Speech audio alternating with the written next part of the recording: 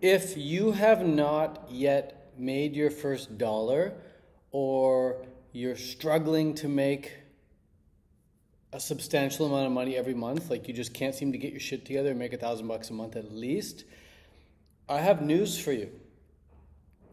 Good news and bad news. Good news, I'll start with the bad news. The bad news is nothing's going to change for you you're going to continue to struggle. You're going to continue to not make any money. You're going to continue to uh, chase your tail. You're going to continue to feel stressed and anxious and confused and overwhelmed. And you're going to continue to uh, be very pessimistic. You're going to continue to think negative thoughts.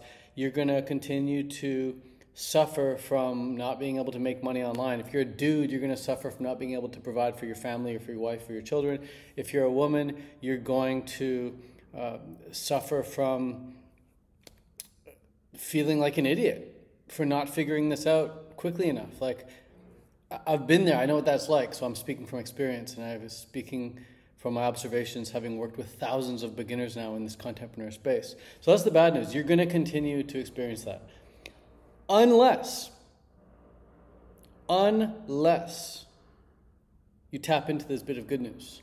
And the bit of good news is that every single person who's now crushing it online, every single person, every single contentpreneur you see, including Alex Hormozi, including Sam Ovens, including myself, including everyone else that you see, everyone who's crushing it started there, started where you're at right now.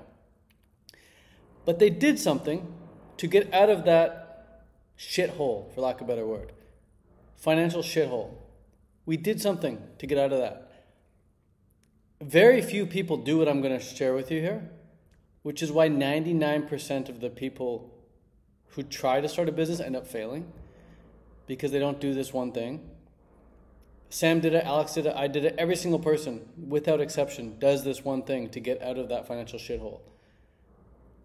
But 99% of the people won't. So you watching this video right now, there is a there is a 99% chance that you're not going to take my advice, and that's that's totally cool. Like being successful is not for everybody. It's, it's really not. That's why it's called the top 1%. 99% of people, it's just they're not meant for that 1%. And this thing, this thing that we did to, to get out of the financial shithole is something that's not taught at the dinner table at home. It's not taught in the libraries, really. I mean, maybe if you go to like the, the, the back end of the library, you might find it in like the alternative section of the library. It's not taught at school, definitely not taught at school. It's not talked about uh, uh, when you hang out with your friends, so most people have no clue about this. But if you do research on YouTube, if you, if you buy certain books, you can, you can learn this. And if you apply it, you'll get results right away with it. That's the, that's the good news. Um, but again, before I even tell you what it is, I just want to say like there's a the if you, if you want to put yourself in the upper one percent, you can do this right now. you can do this right now, and you have to continue to do it. So, what is this? What is the secret? What's going to pull you out of this financial shithole? Well, I'll tell you what it's not. It's not hiring a coach. Being like, I'm going to hire Ted and everything's going to be solved. It's not buying a book. It's not buying a course. It's not going to a conference. It's nothing outside of yourself, actually. It's nothing outside of yourself. You can, in fact, you can close your eyes and make this work. You can do this with your eyes closed. You can be a blind man. You can be a blind woman to make this work.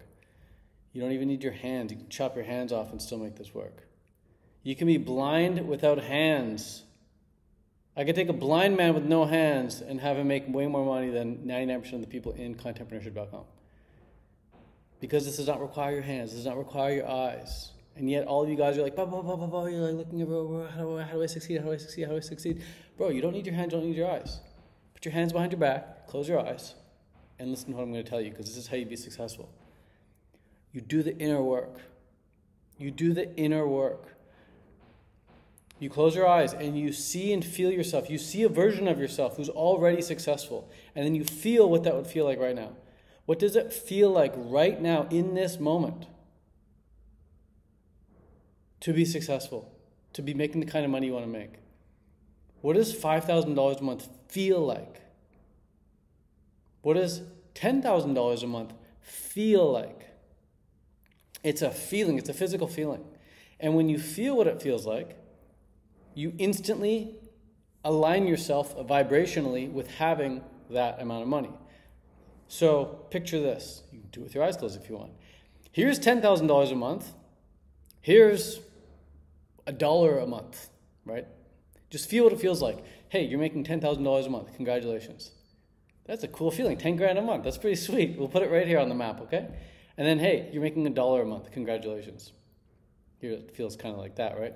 So there's a different feeling you get energetically, vibrationally, just saying those two numbers $10,000 a month, $1 a month. So, knowing that there's a difference between feeling $10,000 and feeling $1 a month, you have to continuously feel what $10,000 a month feels like, and you have to familiarize yourself with that feeling. And you've got to feel it every single day. And you might think this is very woo woo, and, and, and you don't see how it could possibly work. So I would encourage you to then say, Ted, I'm going to do the opposite. And I would encourage you to do the opposite. I would encourage you to feel like you're in debt $10,000. Tell me how that feels. How does it feel to be $10,000 in debt? I was in $30,000 in debt, so I know, I know what that feels like. It feels terrible. So I say, okay, if you're not into this whole feeling thing, fine. Feel terrible. Do the opposite. Feel, feel what being in debt feels like. Do that every single day. Wake up, feel like you're in debt. Go to bed, feel like you're in debt. Go through your whole life, go through your whole day, feel like you're in debt. See how that benefits you. See how that feels. Terrible. And when you feel terrible, you align yourself with terrible life circumstances. You end up you end up suffering every single day. You end up not getting the things you want in life. And the alternative is true. The vice versa is true. When you feel what $10,000 a month feels like, you now align yourself vibrationally with making $10,000 a month. You now put yourself in alignment with 10K a month so that it's just a matter of time before it happens. And the stronger you feel like you're, al- the stronger the feeling is that you're already making 10K a month, the faster it's going to come. People are going to inbox you. Your videos are to go viral. People are going to agree to do an interview with you. Clients are to agree to work with you. People are going to agree to partner up with you. Someone's going to invite you to a mastermind meeting. You're going to go to the mastermind meeting. Someone's going to show up at the right time and shake your hand and interview and talk to you and, and want to say, hey, come on my podcast. Or you're going to say, hey, can I, you want to come on my podcast? And they say, sure. Or you're going to have the idea for a podcast. You're like, I was just sitting there, and all of a sudden the idea for a podcast came into my mind. I don't even know where it came from. It came from you being in alignment with that kind of money, with the kind of money that comes from feeling that feeling. So when I was a broke hippie, I was not a broke hippie because of the things I was doing in my life. I was doing really cool things in my life, but I was still a broke hippie. Why? I was a broke hippie because I was feeling like a broke hippie. Even though I was studying how to become rich, I studied how to become rich. I was reading, I was reading the books, I was listening to the audiobooks, I was watching YouTube videos, but I kept feeling like I was a broke hippie. I felt like I was a broke hippie studying how to become rich. Just because you're studying how to become rich doesn't mean you're going to become rich. Unless you feel, unless you alter your internal feeling and you feel like you're already rich. Feeling like you're already rich. There's a great book on this called Feeling is the Secret. Highly recommend checking it out. And then doing what it says. So when I was a broke hippie, I was a broke hippie because I felt like a broke hippie. It was only once I switched my inner dialogue and my inner identity and my inner feeling and started feeling like I was already making $10,000 a month. It was only then that I actually put myself in alignment with making $10,000 a month, started to then get the results of somebody who makes $10,000 a month. And it wasn't long before I doubled it up again, made 20K a month. I switched my feeling. I stopped feeling like somebody makes 10K a month and I doubled it. I'm like, I'm somebody who makes 20K a month and I made that. So, and I, and I remember how, how absurd it was to even think about 20K a month. It was absurd. It was absolutely absurd because I, I wasn't making much at the time. It, it wasn't actually that I went from zero to 10 to 20. It was actually that I went from like 2,500 bucks a month to 20K. That's how it really went down. And I have YouTube videos documenting all this. You go on my YouTube channel, you can see this. I'm talking about how to make $2,500 a month because uh, all these vegans were asking me how to do it. So I started teaching these vegans how to make $2,500 a month. And did a webinar. That webinar did very well. Ended up making 18 grand my first month, 20k after that, 25k after that, and I was like set for life after that because I understood how to do sales properly. But the feeling of feeling, the feeling of making 20k a month felt so unrealistic. It felt embarrassing. I genuinely felt embarrassed to feel the feeling of $20,000 a month because the number was so absurdly big. At the time, again, I was making 2,500. And I'd heard people talk about making 10K a month, that being like the milestone for people. But I, I, I was like, oh, it didn't feel original to me. I was like, oh, people are already feeling 10K a month. Like people are already going for that milestone. I'm to put this thing to the test and really feel what it feels like to make 20K a month. And boom, happened. So you could, like, you can you can spend all day chasing your tail, watching all the different course materials I teach. You can you can learn about the sales process I recommend. You can learn about the DM scripts, the phone scripts, the funnels, the offers, the niches, the pricing, the Skool communities, the different softwares we use. But nothing is going to work for you. Nothing is going to work for you until you already feel the feeling of making $20,000 a month or $10,000 a month or whatever amount you want to make. So, like, like you know right now what it feels like to be angry. I could say act angry. Go. And you could act angry. You even know the body language for it. You can be like, ah, right? You do the facial structure, the, the clenched fist. You know what anger feels like. You know what anger looks like. You know what excited feels like. It's like jumping up and down. Yeah.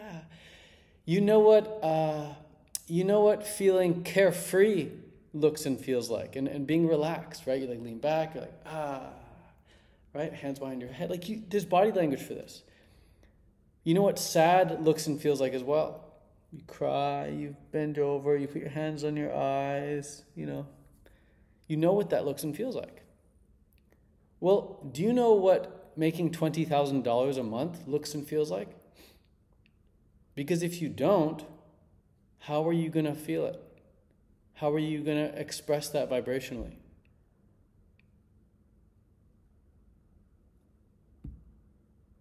If you don't know what it looks like, if you're not familiar with it, how are you supposed to tap into that?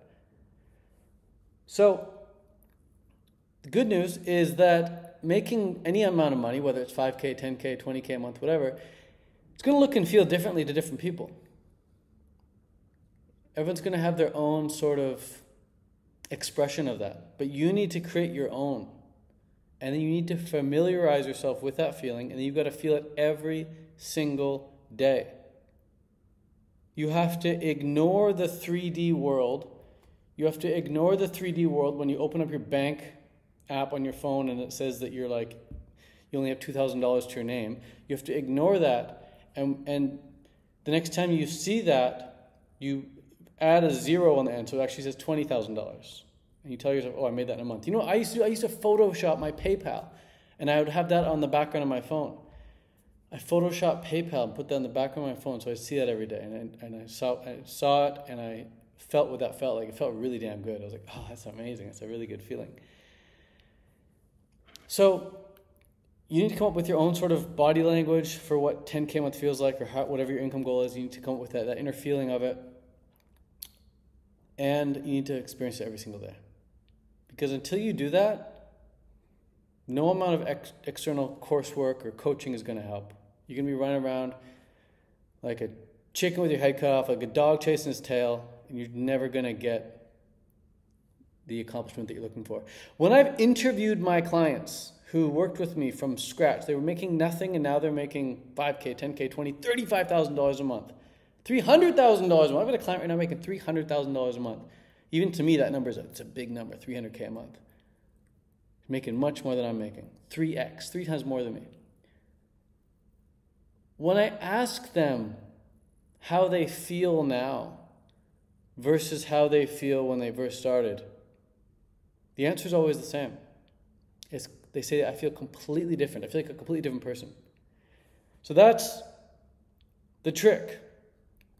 The trick is to feel like you're rich already, and the trick is to change the person you are.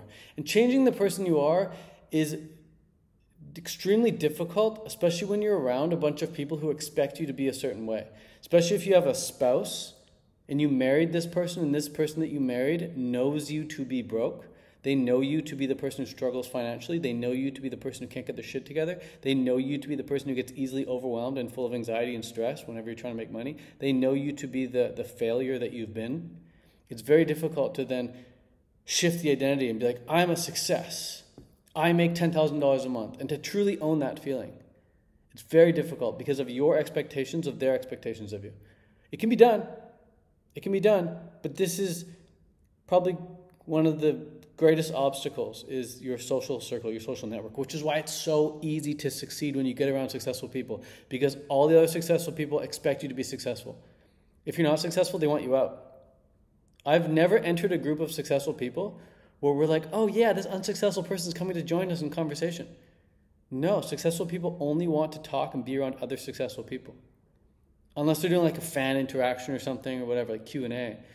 But like on a day to day basis, or like even at like an event or a conference or something, successful people want to be situated around other successful people. So when you show up in their circle, you have to now feel successful to even be a fit vibrationally there, which is why it's so easy to become successful when you're around successful people. Because you couldn't you can't remain around them unless you're successful. They force you to bring out the success vibe. If you don't bring out the success vibe, you're gone. Get out of here. So like, because we used to communicate before language. Language is a modern invention. You know, humans used to exist and coexist with one another, hundreds of peoples in, in tribes where we didn't even speak a language. There was no English, there was no hello, there was no how are you. It was all vibration. People could pick up on other people's vibrations. We can pick up on your vibration. I can tell if you're sad or if you're happy without you needing to tell me. And I can tell if you are rich or poor by your vibe. Here in Dubai, I'm surrounded by extremely wealthy people. It feels so good. I'm going to America tomorrow, I'm flying to America tomorrow. I'm going to be in LA, I'm going to be in Vegas. And for parts of that trip, I'm, I know I'm going to be surrounded by ultra wealthy people, ultra successful people, because I'm going to these different business events, going to the Skool headquarters. But I also know I'm going to walk into the grocery store. I'm going to walk through the streets. I'm going to go to the gym. And I'm going to be around people who just are not on that wealth vibe. And that this fine. It doesn't make them bad people at all. They're so cool to hang around. They're so cool to work out with. They're so funny. They're so great people. But I can just tell that they're not rich. You can tell if somebody's rich just by the vibe they're giving off. Some people really show it off, other people not so much, but you can tell. They don't care what they're wearing, they don't care what they're saying. You can just pick up the vibe. It's the vibe that they're emanating. So, I'm going to wrap this video up, but I just want to say like you're going to waste your time going through courses, books, coaching programs until you address the inner vibe. The inner vibe. You've heard the quote, I'm sure. Your vibe attracts your tribe. Look at your tribe right now. My tribe used to be full of brokies, and that's because I was a brokey. That was the vibe I was giving off. Now my my tribe is so epic, man. I've got the most elite tribe in the world. I have an elite tribe because I give off an elite vibe. And again, this is something you can do without your hands. You can do this with your eyes closed. But please don't come on our coaching calls and complain and act like a victim and say, Woe is me, this isn't working, when you clearly haven't done the inner work. The inner work comes first.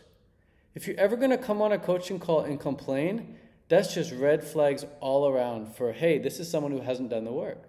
I've never gotten on a coaching call. I've never gotten on, I've never paid for coaching, gotten on the call, and just started complaining. I've never hired a coach for one on one and started complaining to them. Ever. Because that just cements me further down as a brokey. I get on coaching calls and I say, hey, here's what I'd like to achieve here's what I have a question about, or here's what I'm currently struggling with, or here's, here's what I have been struggling with. How do I resolve this so I can get here quickest? I'm willing to try anything, even if it's something I've already tried before. And if they tell me a suggestion, something they've already tried before, I say, okay, that's a great idea. Uh, I recently tried that, and here were my results. Did I do something wrong, or was it something I was missing? Like, what can I, if I'm going to try this again, how can I make sure I do it right? And I just take the advice and I make sure I do the inner work because that's the most important thing. but do the inner work. If something's really not working externally, even if a coach is telling me to do it, I know I got to do the inner work. So that's it. Peace for now. Much love. Adios. We'll see you on the weekly calls. Bye.